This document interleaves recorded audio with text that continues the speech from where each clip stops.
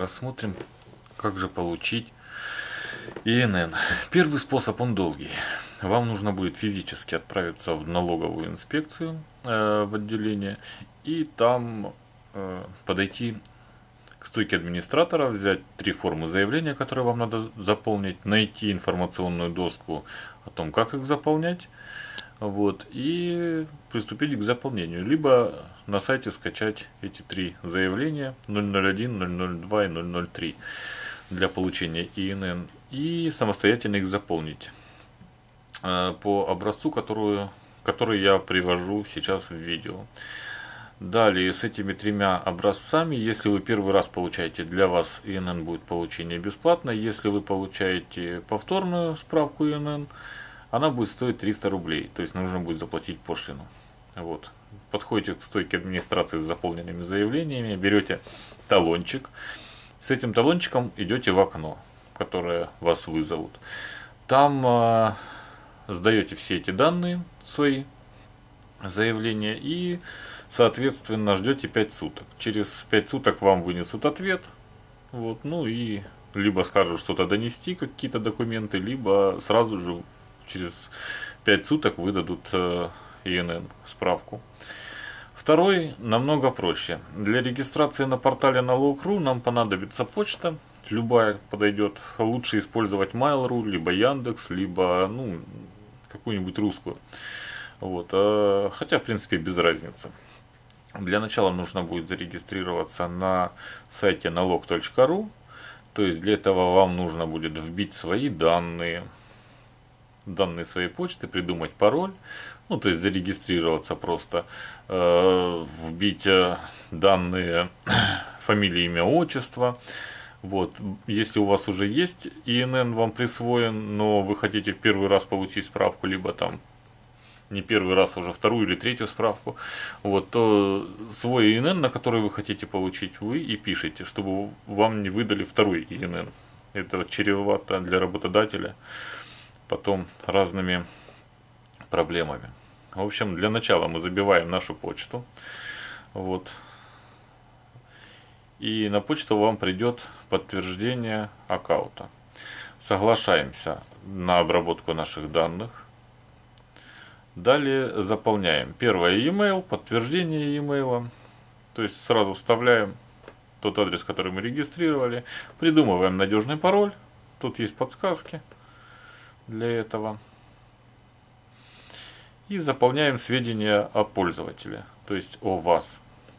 Э, тут также можно будет э, при оформлении чуть далее э, заявление на ИНН внести человека, который будет забирать, то есть доверенное лицо. Но в таком случае на него нужно будет сделать нотариально заверенную доверенность для того, чтобы он забрал ваши документы, чтобы ему отдали эту справку ИНН.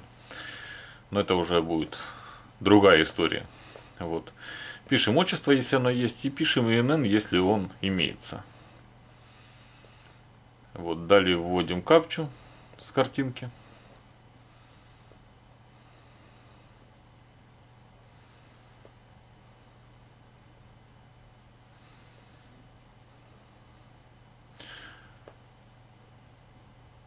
В данном случае ИНН, который написал я, это вымышленный ИНН, точно так же, как и фамилия, и он не прошел.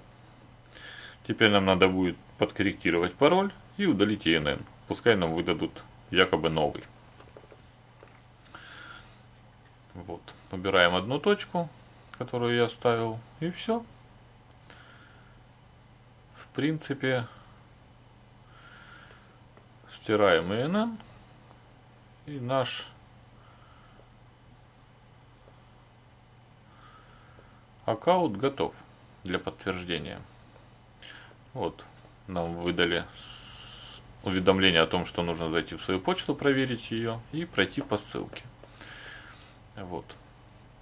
Обычно упадет письмо в оповещение, либо если у, у некоторых стоит жесткий фильтр, то в нежелательную почту, либо спам. Далее мы заходим на почту, проверяем ее, видим там ссылочку.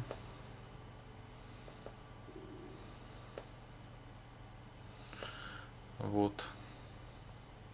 И активируем учетную запись. Желательно скопировать ссылку для активации учетной записи, потому что через нее потом проходить будет намного быстрее попадать в свой личный кабинет. Это упрощает вход на, в кабинет на сайте налог.ру.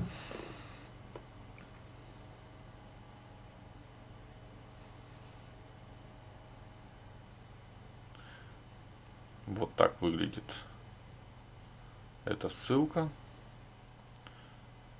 которую нам нужно будет сейчас скопировать. Что мы в принципе делаем. Вот, заходим в браузер, в котором мы регистрировались. Вот. И проверяем данную ссылку. Это уже второй способ, который намного быстрее. Он быстрее тем, что не нужно будет 5 суток ждать ответа, как при первом физическом способе. То есть мы удаленно по интернету сейчас зарегистрируем нашу заявку. Заявку обработать в течение суток, а не пяти. Вот. И то есть ну, на следующий день реально можете пойти уже и забрать, как это сделал я. Пошел и забрал свою справку с ИНН номером. А дальше мы заходим в наш кабинет, сохраняем пароль. И нас сразу же выбрасывает в окно для того, чтобы делать, оформлять заявку на получение ИНН. Все ссылки будут э, в описании к видео, то есть вы точно так же сможете зайти и по ссылкам пройти на сайт налог.ру, чтобы зарегистрироваться. Единственное, что почта вам нужна будет своя и ссылка для э, авторизации в кабинете тоже будет своя. Каждому приходит своя.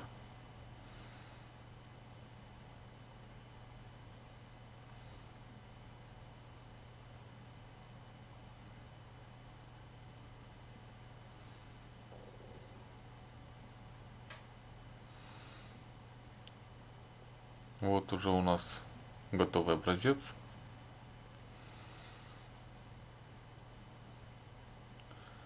Вот мы делаем заявку, заявление. То есть мы вносим наши данные. Допустим, Иванов. Будет у нас фамилия. Имя Иван. Отчество Иванович.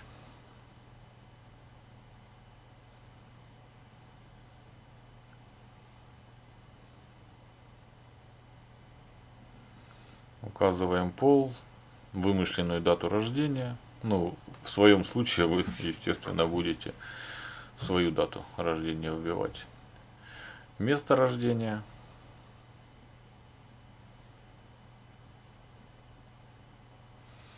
И ИНН, если он у вас есть. Ну, в данном случае у нас нет, мы хотим получить новый, поэтому пропускаем эту графу.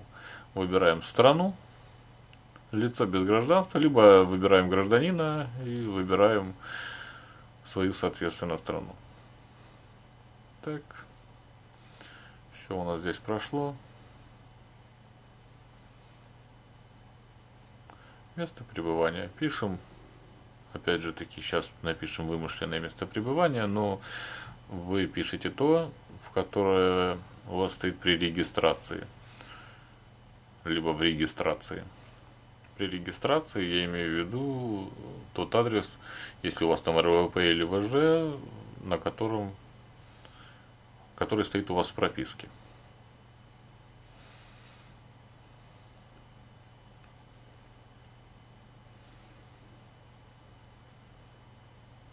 Дату регистрации, когда вы осуществляли регистрацию в органе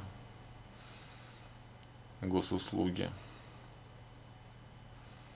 Она прямо в паспорте у вас будет записана.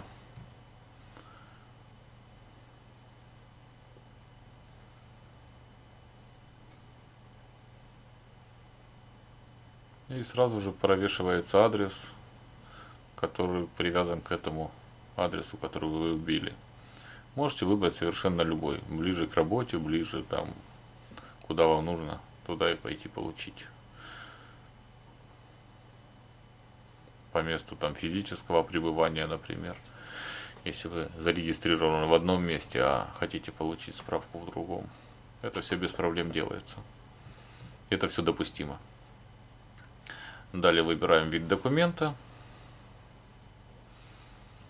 по которому вы получаете ИНН, серию номер документа своего, соответственно, в котором у вас.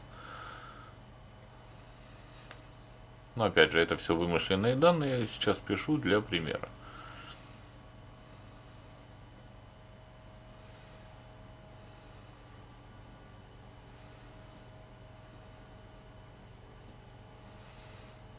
Код подразделения мы пропускаем, так как он нам не нужен, но если вы гражданин России, у вас будет код подразделения 77 какой-то, скорее всего.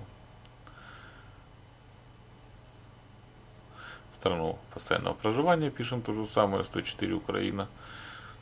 Далее переходим. Прежнее это если вы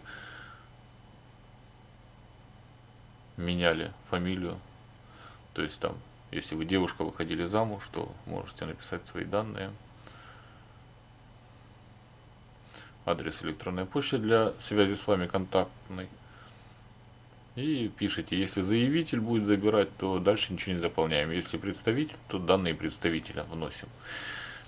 Те, которые будут потом в доверенности совпадать. Для этого желательно сделать сразу доверенность и по ней уже потом оформлять заявку. Вся заявка на сайте занимает в районе 15-18 минут. То есть полностью вся регистрация. И ровно через сутки вы получаете ответ.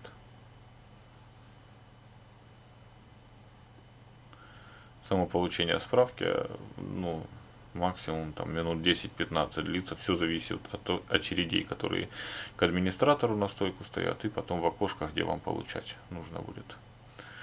Дополнительные сведения вносите сюда.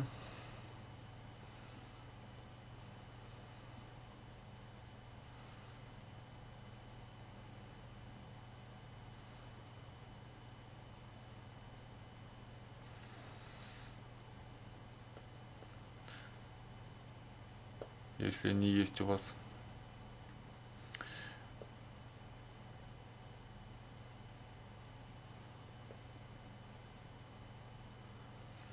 Ну, я сейчас внес тот же самый паспорт. Наименование органа, выдавшего вам этот паспорт. А, Еще нужно дополнить орган. Видите, тут подсказки работают на ура. То есть заполнить без всяких проблем можно. Опять же пишем вымышленный орган. Все у нас проходит. Заявка. Номер нужно обязательно запомнить. Потому что с этим номером вам нужно будет обращаться на стойку регистрации. Желательно просто сделать скрин, либо распечатать, либо просто записать на бумажку сам номер. Вот.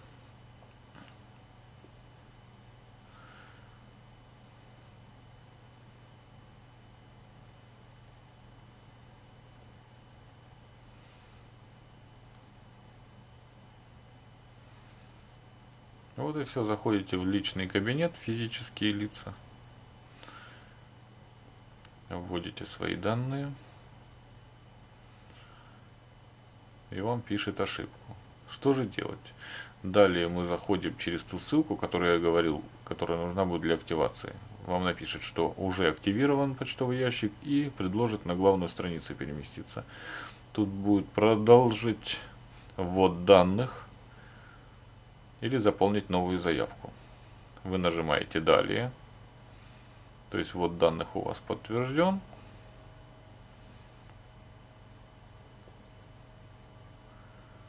Проверяете все свои данные еще раз, если это необходимо. Но лучше, конечно же, проверить. Далее отправка. И внизу будет зарегистрировать заявку и направить ее в ИФНС. На эту ссылочку нужно будет и нажать. После этого ваша заявка уходит на обработку и начинается время тех суток, которые идут на обработку данной заявки. Как видите, все просто, все элементарно.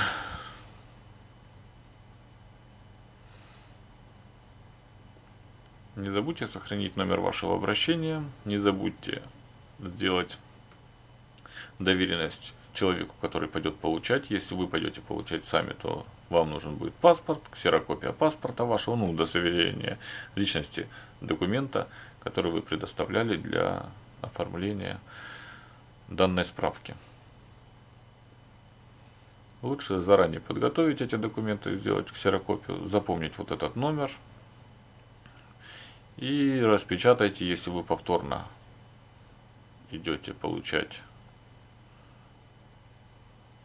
справку, распечатайте себе квитанцию, сразу она будет на ваше имя, идете оплачиваете, и после этого нормально, у вас уже проходит оплата в течение суток, нормально можно прийти, предоставить чеки об оплате квитанции и все, и забрать свою долгожданную справку с ИНН номером.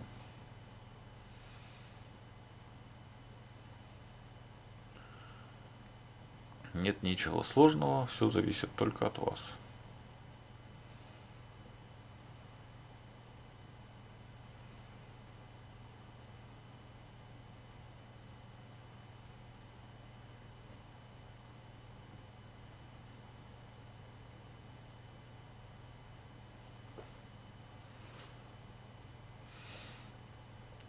Ожидает ответа. Вот здесь вот можно будет нажать на ожидание ответа и распечатать, скачать заполненную квитанцию. То есть вы скачиваете ее, распечатываете, вырезаете. И если у вас повторное обращение, идете сразу оплачивать. Вот.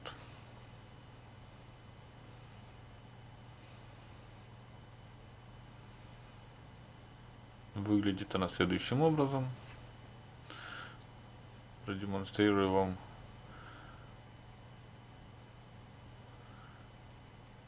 вот такая вот штучка будет.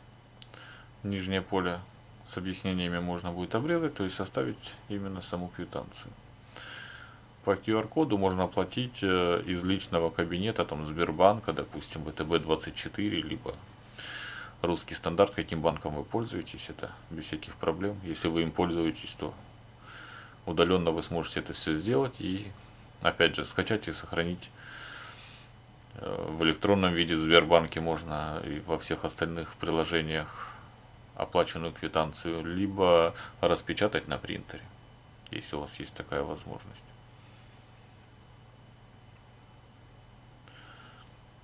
Далее следующий наш шаг это спустя 24 часа пойти и получить свой ИНН. Для этого вам нужно будет уже физически прийти на то отделение, которое вы выбрали.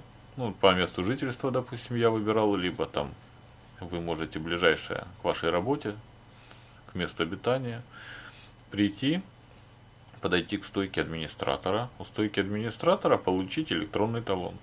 Далее по электронной очереди вас вызовут в окно, где вы покажете номер обращения заявки, которая уже обработана, дадите данные паспорта своей, то есть даже ксерокопии достаточно будет, но единственное, что нужно будет удостовериться, либо человек, который по доверенности пришел получать, предоставлять ксерокопию вашего паспорта и свою доверенность со своим паспортом. Личность удостоверяют его и все, ему выдают вашу справку.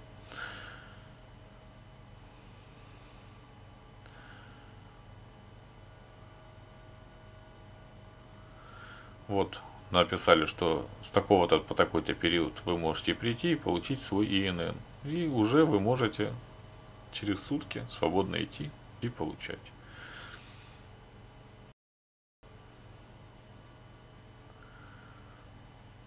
Это вы ознакомились с сообщением Все. Кому было полезно, всем пока.